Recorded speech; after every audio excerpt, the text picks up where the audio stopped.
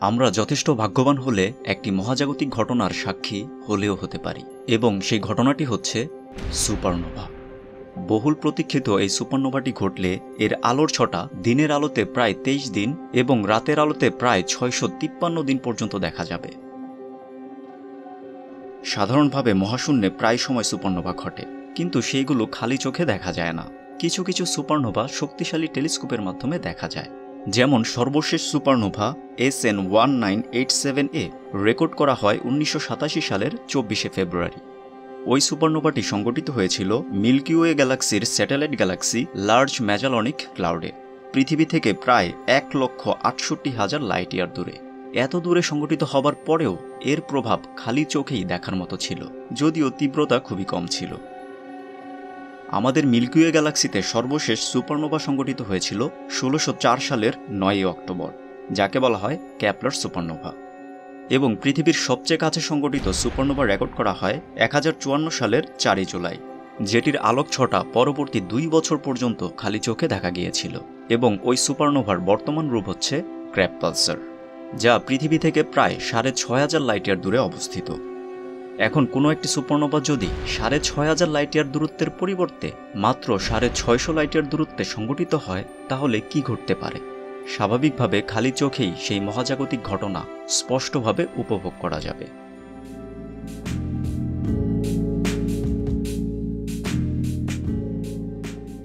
রাতের আকাশের সবচেয়ে উজ্জ্বলতম তারাদের মধ্যে দশ নম্বরে রয়েছে ব্যাটেলজিওস এটিকে সূর্যাস্তের ঠিক পরে পূর্ব দিক থেকে উঠতে দেখা যায়। মেঘমুক্ত রাতের আকাশে এটি খালি চোখেই দেখা যায়, বিশেষ করে ডিসেম্বর মাসের মাঝামাঝি সময়ে। বেটেলজিউস খুবই বিশাল স্টার। এটি সৃষ্টির সময় প্রায় সূর্যের ভরের পনেরো থেকে বিশ গুণ ভর নিয়ে তৈরি হয়েছিল। এত বিশাল ভর নিয়ে সৃষ্টি হবার কারণে ভিটেলজিউস খুবই দ্রুত তার জ্বালানি পুড়িয়ে ফেলেছে, যার ফলে বর্তমানে ভিটেলজিউস তার জীবনদশার শেষ পর্যায়ে রয়েছে, যাকে বলা হয় রেড সুপার জায়ান্ট এই পর্যায়ে এসে স্টারের আয়তন বিশাল আকার ধারণ করে। বেটেলজিউস এতটাই বিশাল আকার ধারণ করেছে যে, এটিকে যদি আমাদের সোলার সিস্টেমের কেন্দ্রে বসানো হয়, তবে তা জুপিটারের অরবিট পর্যন্ত বিস্তৃত হবে। তাহলে বুঝতেই পারছেন কতটা বিশাল। তবে এখানে একটি বিষয় হচ্ছে যে ভিটেলজিউস কিন্তু আমাদের সূর্যের তুলনায় খুবই তরুণ। আমাদের সূর্য আনুমানিক চার হাজার ছয়শো মিলিয়ন বছর আগে তৈরি হয়েছে। অন্যদিকে ভিটেলজিউস তৈরি হয়েছে মাত্র দশ মিলিয়ন বছর আগে। এতটা তরুণ হবার সত্ত্বেও বিটেলজিউস তার জীবনদশার শেষ পর্যায়ে আসার কারণ হচ্ছে বিটেলজিউসের বিশাল ভর। বিশাল ভরের কারণে বিটেলজিউসের জ্বালানি, অর্থাৎ হাইড্রোজেন, দ্রুত ফিউশন বিক্রিয়ার মাধ্যমে হিলিয়ামে পরিণত হয়ে গিয়েছে। সাধারণভাবে হাইড্রোজেন থেকে হিলিয়াম হতে সময় লাগে তুলনামূলক সবচেয়ে বেশি। কিন্তু পরবর্তী ফিউশন, অর্থাৎ হাইড্রোজেন থেকে কার্বন কার্বন থেকে নিয়ন নিয়ন থেকে অক্সিজেন অক্সিজেন থেকে সিলিকন এবং সর্বশেষ সিলিকন থেকে আয়রন। এই ধাপগুলো খুবই দ্রুত সংগঠিত হয়। সিলিকনের ফিউশন থেকে আয়রন তৈরি হতে সময় লাগে মাত্র একদিন এবং এই আয়রন তৈরি হবার পর তারার মধ্যে আর কোনো ফিউশন বিক্রিয়া ঘটে না। কারণ আয়রনের ফিউশন থেকে যে পরিমাণ শক্তি উৎপন্ন হবে, তার চেয়ে বেশি শক্তির প্রয়োজন হয় আয়রনের ফিউশন বিক্রিয়া সংগঠিত হতে, যার ফলে আয়রন পর্যায়ে এসে তারার মধ্যে আর ফিউশন বিক্রিয়া ঘটে না। তখন ঘটে সুপারনোভা বিস্ফোরণ।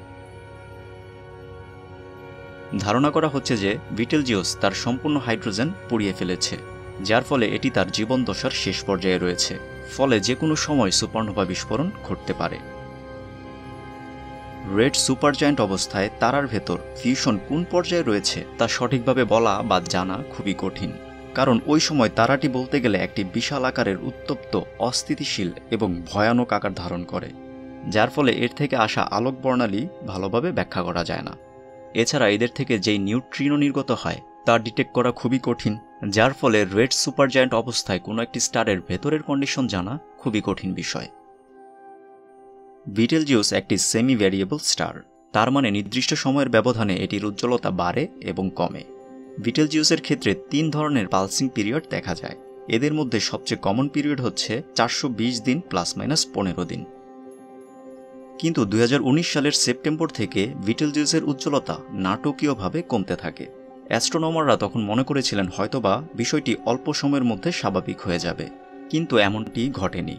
দুই হাজার বিশ সালের ফেব্রুয়ারির মধ্যে ভিটেলজিউসের উজ্জ্বলতা স্বাভাবিক উজ্জ্বলতার থার্টি এইট পার্সেন্ট হয়ে যায়। তখন মনে করা হয়েছিল ভিটেলজিউসে হয়তোবা সুপারনোভা বিস্ফোরণ ঘটতে যাচ্ছে। ফলে পৃথিবীর শক্তিশালী সব টেলিস্কোপের মাধ্যমে বিটেল জুসকে গভীরভাবে পর্যবেক্ষণ করা শুরু হয়। তবে দুই হাজার বিশ সালের এপ্রিলের মধ্যে বিটেল জিউস তার স্বাভাবিক উজ্জ্বলতায় ফিরে আসে। তখন বিটেল জিউসের উজ্জ্বলতা কমার ক্ষেত্রে দুইটি কারণ থাকতে পারে বলে ধারণা করা হয়। প্রথমত মনে করা হয় বিটেল জুসের সারফেসে কোনো একটি বিশাল কুল স্পটের কারণে এই উজ্জ্বলতা কমেছিল। দ্বিতীয়ত মনে করা হয়, কোনো ডাস্ক ক্লাউড হয়তোবা বিটেল জুসের সামনে দিয়ে অতিক্রম করেছে। পরবর্তী কয়েক মাসের পর্যবেক্ষণে জানা যায় যে, উজ্জ্বলতা কমার ক্ষেত্রে এই দুইটি বিষয়ই মূলত দায়ী ছিল। যাই হোক, এখন একটি প্রশ্ন আপনার মনে আসতে পারে। পৃথিবী থেকে মাত্র ছয়শো বিয়াল্লিশ লাইটিয়ার দূরে থাকা কোনো একটি তারায় যখন সুপারনোভা বিস্ফোরণ ঘটবে, এটি পৃথিবীর জন্য কতটা বিপজ্জনক হতে পারে?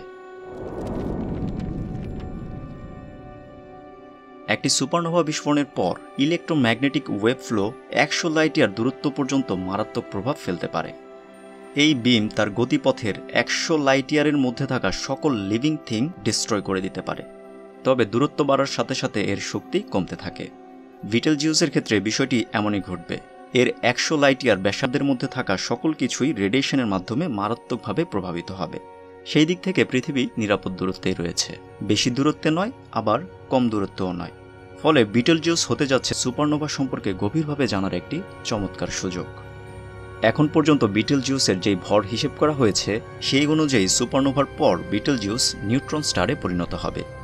তবে বিটেল জুসের ভর যদি আমাদের অনুমানের চেয়ে বেশি হয়, অর্থাৎ সূর্যের ভরের বিশ গুণ বা তার চেয়ে বেশি হয় সেই ক্ষেত্রে এটি ব্ল্যাক হোলে পরিণত হবে। তবে অতি সম্প্রতি বিটেল জিউসে সুপারনোভা ঘটার সম্ভাবনা বিজ্ঞানীরা আপাতত দেখছেন না। তবে বিটেল জিউস যেহেতু রেড সুপার জায়েন্ট অবস্থায় রয়েছে, এমন ক্ষেত্রে নিশ্চিতভাবে বলা খুবই কঠিন। তারপরেও ধারণা করা হচ্ছে, বিটেল জিউসে সুপারনোভা ঘটতে আরও এক লক্ষ বছর সময় লাগতে পারে।